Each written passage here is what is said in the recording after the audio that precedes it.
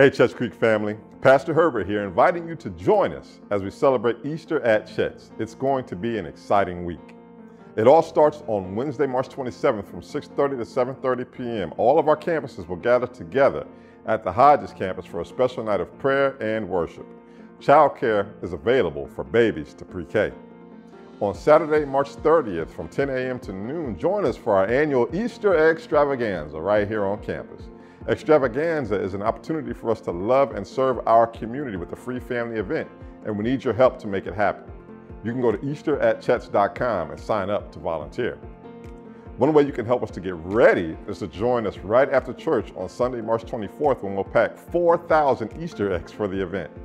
Bring a few bags of candy, no chocolates or peanuts please, and help us to fill them. Have questions? Contact Ashley Pulliam at the email address below.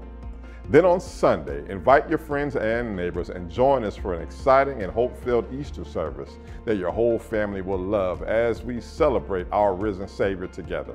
We'll have three morning services, 8 o'clock outside and 9 a.m. and 10.30 in the worship center. We hope to see you there.